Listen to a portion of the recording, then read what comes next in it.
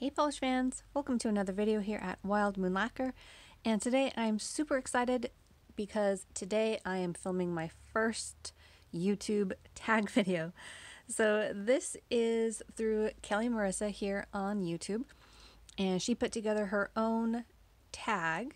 And if you're not aware of what a tag is, essentially a YouTuber will go onto their channel and make a video and tag other YouTubers. And what she's done is essentially tag all of her viewers. So anyone can go ahead and make the tag that she put together. And it is regarding my polish collection. So it's questions about each of our nail polish collections. And let's dive right in. The first question is How many nail polishes do you own?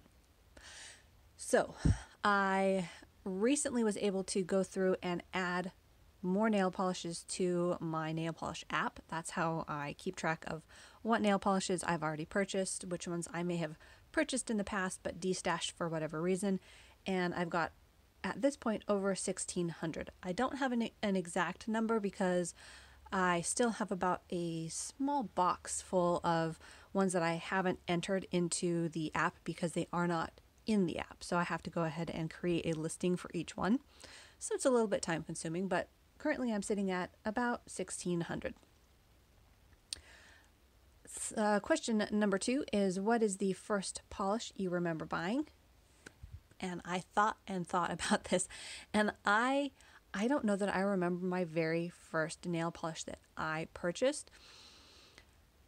Probably before I was uh, a teenager, any of the nail polishes that I would have had would have been like my mom's, hand me downs, a friend's. So I don't really remember a specific one that I bought that would be my first nail polish. However, my first nail polish distinct memory was regarding a color somewhere along the lines of this bright blue. It wasn't this particular bottle, but I remember being drawn to a very specific bright, like turquoise teal, shiny nail polish, and that's one of my earliest memories of nail polish. Question number three most recent nail polish that you've added to your collection. And that would be this one, OPI. Show us your tips. This one I got in an order from Walmart just recently, and it is this beautiful light periwinkle color. Definitely happy to finally have this in my nail polish collection. It was on my wish list for quite a while. So beautiful color there. And that was Show Us Your Tips by OPI. Question number four What is your least favorite nail polish that you own? Now, I don't often keep nail polishes that I don't like in my collection. Um, funny enough, I actually had Kelli Marissa's nail polish, the OPI Pineapples Have Peelings Too. I somehow got that in a stash or a bag of nail polish from the thrift store, and I thought just along the lines of, of what she did that it was hideous. I immediately got rid of it and I was really surprised that it actually sold when I sold it. But I do have a few nail polishes in my collection that I don't like for one reason or another, but I've also kept for one reason or another. So the one that came to mind for that question, my least favorite nail polish, is this light pink Essie, and it's called Just Stitched. And it is this adorable light pink on my camera right now, I think it's coming off way more nude than it is. It is a light ballerina pink, and it has this subtle blue shimmer in it, which I thought was really unique. It's also part of the Cashmere collection, so it's going to dry to this satin matte finish, as you can see there. And I would have been fine with this, but what I found, at least when I attempted to actually wear it, was that the formula was not easy to work with. Let's just put it that way. I put on about three coats of this, and each one just got worse and worse. And I was so frustrated. This, I think, also holds the uh, place of being the polish I wore for the least amount of time because after the third coat, it was gloppy and thick on my nail and it still looked streaky. I immediately took it off and I almost got rid of it too, except that I was like, well, I want this to work. I like this polish. It's this very cute polish. So I've kept it, but for the time being, it holds the place of my least favorite nail polish. Question number five What is your rarest nail polish? I had to think about that one too because I don't exactly have what I would consider really rare nail polishes.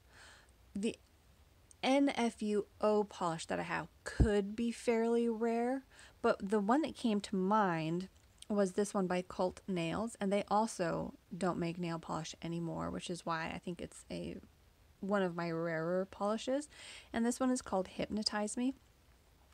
This was on my wish list from swatches that I saw on Pinterest, and it is gorgeous over other colors. And it took me a while to get a hold of this because, like I said, they don't make nail polish anymore, but I was able to find it through a destash. So this was the one that came to mind for that question. What is my rarest nail polish? And again, that one's Cult Nails, Hypnotize Me. Question number six What is your most expensive nail polish? And that honor and distinction goes to my Don Diva called I Got a Killer Pussycat. And it is a magnetic. And it was $20, which is a bit more than I usually will spend on nail polish. I'm honestly not really sure why it was $20, but it's possible maybe it was one of those group customs and I didn't realize it at the time and I didn't use a coupon code. In any case, this holds the distinction of being the polish that I've spent the most on. And it is this really beautiful magnetic multichrome. As you can see there, it's got this beautiful shift from this deep, very deep teal to purple to a little bit of gold at the edges. And the swatches of this were what really sold it to me. The green aspect of this is absolutely stunning when it's magnetized. And it looks like the northern lights. Always drawn to polishes that do that. So I splurged and got this one. I actually have yet to, to wear it, so I'll have to change that here sometime soon. But for the time being, here is Dawn Diva, and this holds the place of my most expensive nail polish. Question number seven What brand do you own the most of? So, as I said before, I do have a app that keeps track of nail polishes, so it's really easy to just scroll through and see what brands you have the most of. Now, I am going to list two because the first one that I technically have the most of to me, while it is, I guess, technically a, well, I don't know. I'm not sure if it is an indie brand or not. It's Julep. So I have 72 Julep nail polishes which is way more than I thought I did. Um, they are a brand or a company that is out of Seattle. And I, for a long time, was subscribed to their sort of monthly nail polish box. So you'd get two to three nail polishes every month mailed out to you, which I guess would account to me having so many of them. Um, I can't say, however, that they are my favorite as far as formulas go, though. So I wanted to also list my second most owned, and that is Bee's Knees.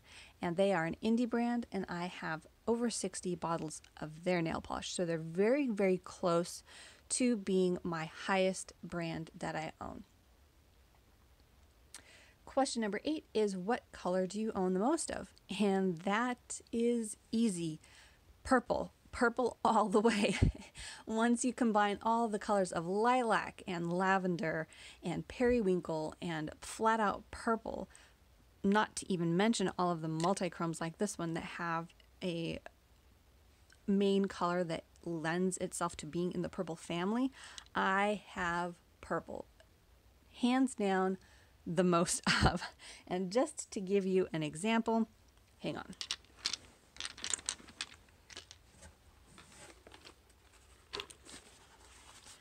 I have been putting together a my purple favorites and so far step one is combining all of my nail polishes gathering them all together and this is just one small tray of my purple nail polishes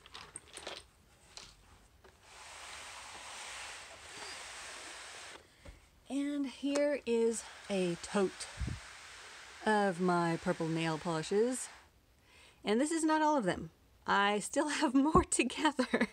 So I don't know if it's easy to tell from that this angle, but this tote is about seven inches tall and it is full of purple nail polishes.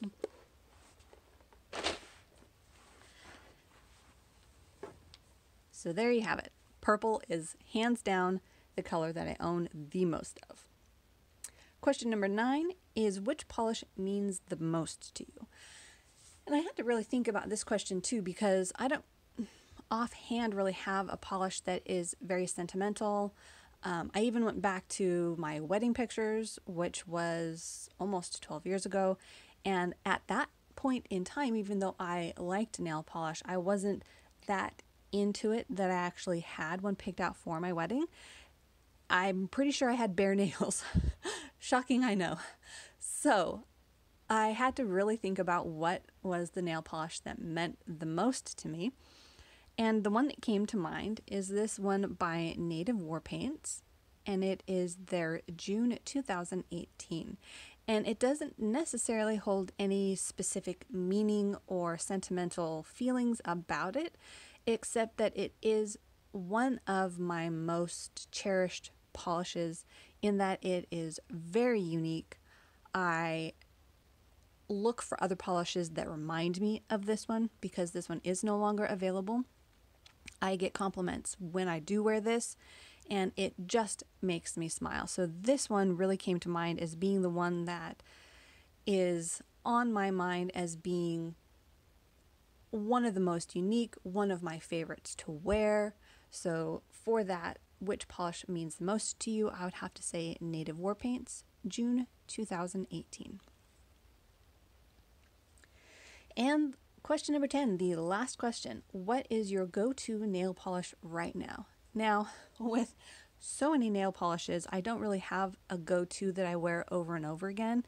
So, this was another question that I really had to think about because I don't have a tendency of leaning towards one bottle over another especially back to back. Um, so the polish that I would say I is my go-to always because I almost always wear it as my base coat is a base coat. so sort of boring, sorry, but this is this nail armor hardener and before I started using this, I was having some nail peeling issues.